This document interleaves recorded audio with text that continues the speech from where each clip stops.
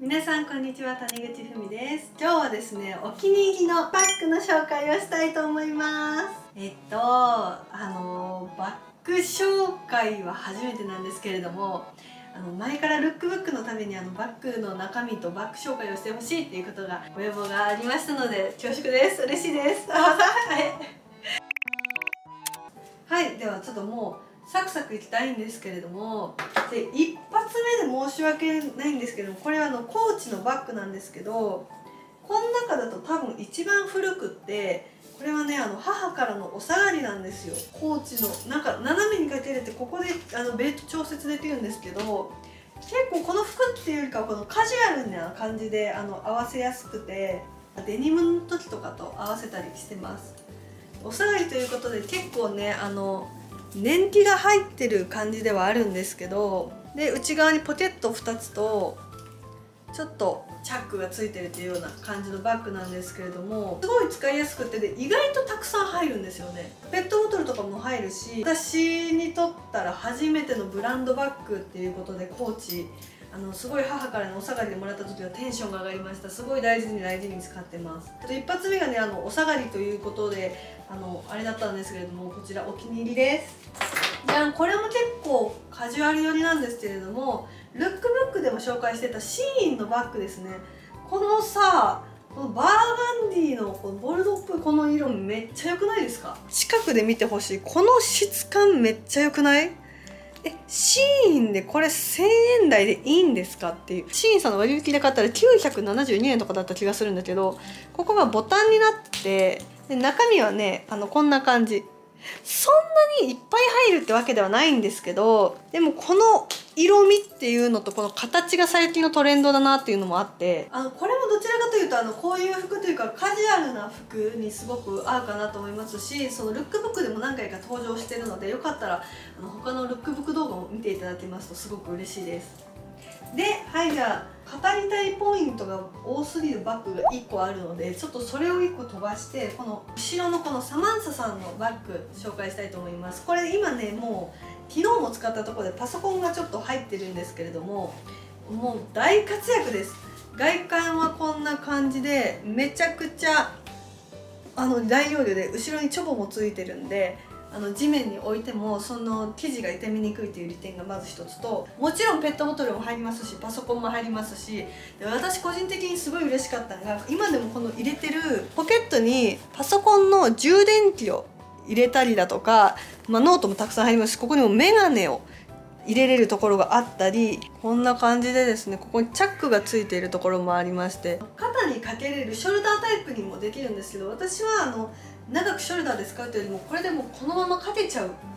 ことの方が多くてあのその方があんまりなんだ荷物の重さを感じないんですよねここが短い方が。でこれ嬉しかったのがここね短すぎるとこれできないんですよね。けど私肩にかけたいタイプのあんまり姿勢のためだとちょっと良くないんですけど肩にかけたいここだとちょっとパソコンとか重いって時に肩にかけれるっていうのがすごい良くて。で生地もしっかりしてて型崩れしにくいのでもうこれゲットした日からマジ大好きって感じ。でグレーつながりでいくともう一個お気に入りがあって今日の服にはこっちがまあ合うかもしれないんですけどマイケル・コースのバッグですね。こんな感じ。可愛いよねこの垂れてるのが。こういう感じ。これもまあかなり大容量でここにチャックもついてるのでこれもねショルダータイプにできるんですけどあ私あんまりショルダー方式では使わないかな。あんまりショルダータイプにして使うことが少ないんでこれはもう手でこうやって持っちゃったりとかしますね。うん。ただめちゃくちゃ可愛いこのちょっと革っぽいでこれも後ろにチョボがあるんで生地傷みにくいんですけどこのちょっとね革っぽくて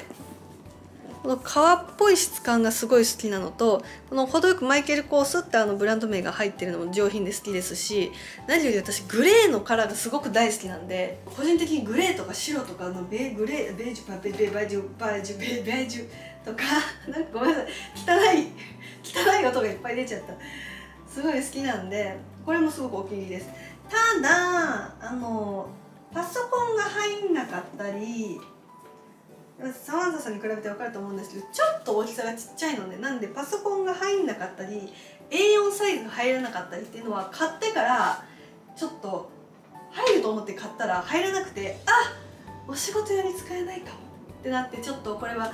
お出かけ用とかちょっとした打ち合わせ用に持つことが多いです。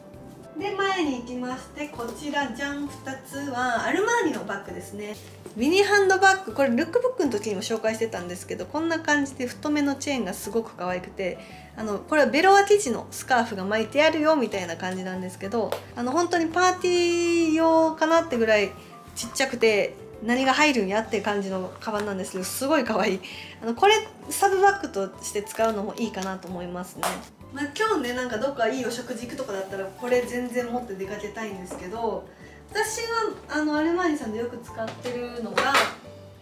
こちらの白のハンドバッグです。これすっごい好きでで個人的にさ白って汚れそうなイメージあったんですけどこれ汚れてんのかわかんないんですけど汚れ加工汚れにくい加工されてるのかもわからないけどめちゃくちゃもうこれ白のままなのでずっと。めっちゃ綺麗ででこのエンブレムがすごい可愛いよねここれ後ろチョボはないんですけどでも全然なんでこんなにずっと白なの？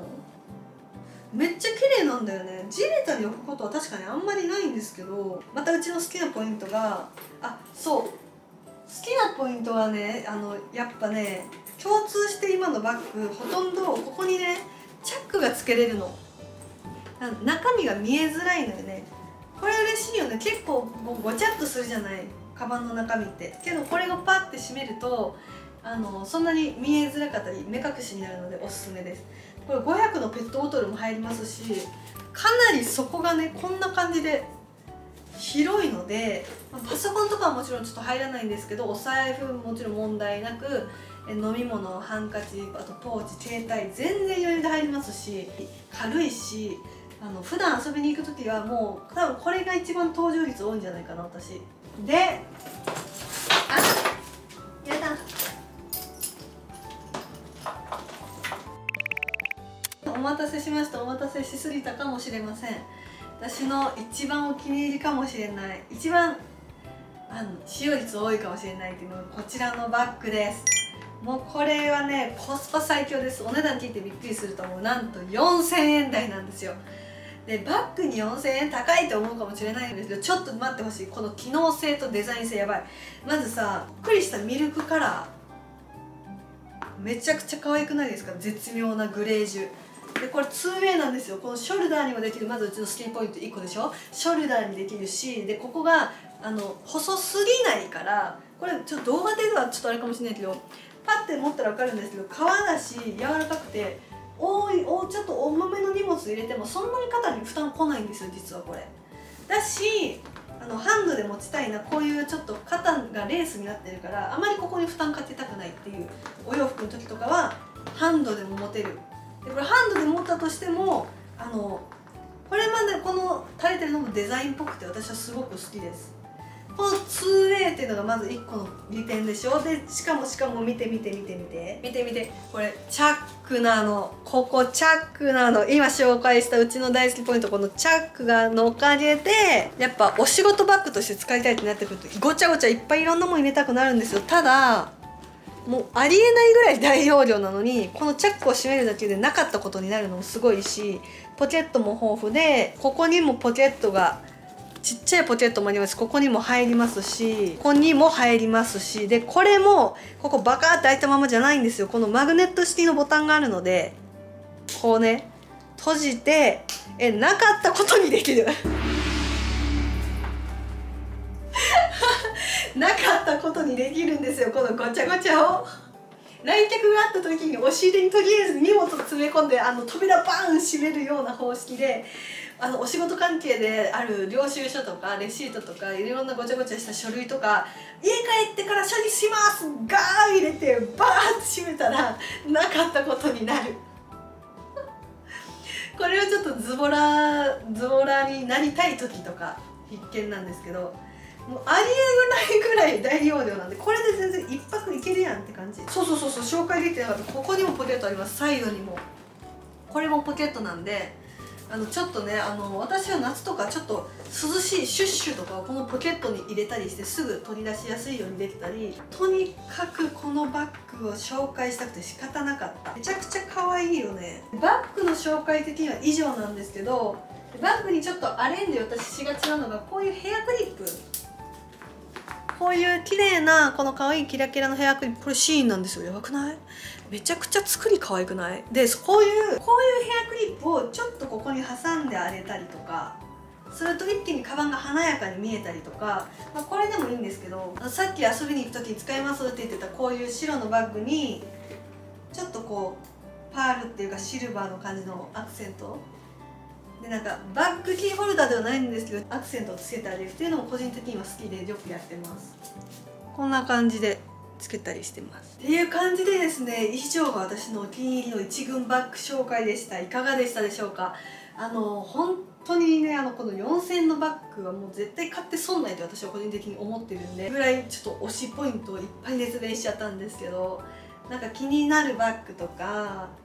またリクエストとかあったら教えてほしいし最近のバッグのトレンドとかこのバッグのブランドおすすめとかあったら私もぜひ聞きたいんで